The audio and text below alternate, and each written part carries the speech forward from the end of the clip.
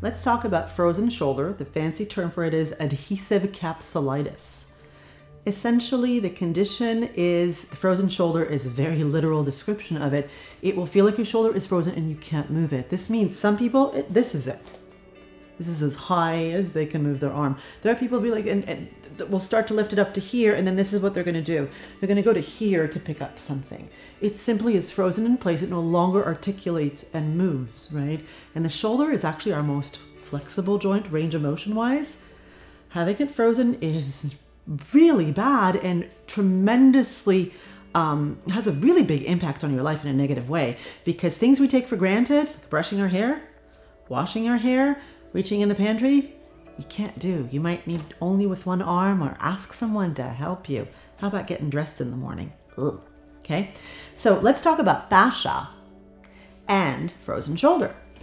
So this is a very, very good depiction of how frozen shoulder, specifically people who are kept getting treated at that frozen shoulder, literally for months, sometimes over that, sometimes year, multi-year, nothing's really budging. They're like, yeah, it's great. It now goes to here. I'm like, oh, okay. If you keep treating that area and you're not getting the result, it might be a symptom and not the root cause. So let's look for that root cause. So I want you to look at this fascia train here. And you can see that there is this fascia train that goes all the way from the bottom of your foot to your hip. And guess what? It sneaks up into your shoulder blade. It literally controls, attaches to the muscles, serratus anterior and rhomboid that literally connect to your shoulder blade. Okay, so can you imagine if there's, if you keep treating here, but the issue is actually coming from here, you're not going to get that solution you're looking for. One person who flew in to work with us, um, uh, as she was doing the consult with me via video, her next option before working with us, they were going to go in surgically and cut pieces of the muscle to enable her to give her more range of motion. Oh, right? So let's talk about this. Let me give you a visual demonstration.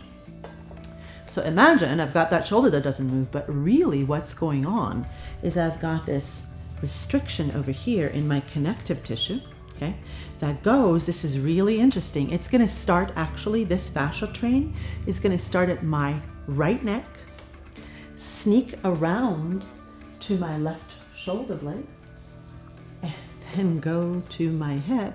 And very often this person, I'm gonna see them in a video consult, and they're gonna look like this, and they have a shoulder issue. The key is to open up that issue all the way down from the foot, from the hip, and all of a sudden free up that person's shoulder.